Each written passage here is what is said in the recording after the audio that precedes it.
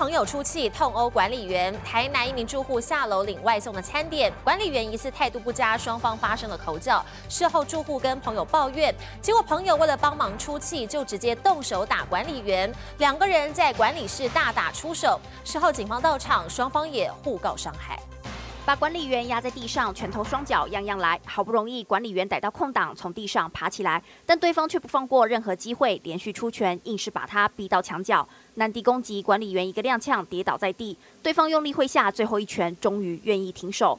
火气这么大，全是为了帮人出气。住户与管理员在一楼管理室柜台发生口角纠纷，随后王姓住户自有人吕楠到场去找管理员理论，双方爆发口角，进而互殴。原来当时大楼住户下楼拿外送餐点，管理员疑似态度不佳，双方爆发口角。住户领完餐上楼后，先跟女友抱怨一番，接着朋友来拜访，带着女友下楼接朋友时，再和朋友抱怨一次。这时朋友一听，火气上来，直接冲过去痛打管理员。双方互提，告诉本所均依规定受处理报案，并以伤害罪。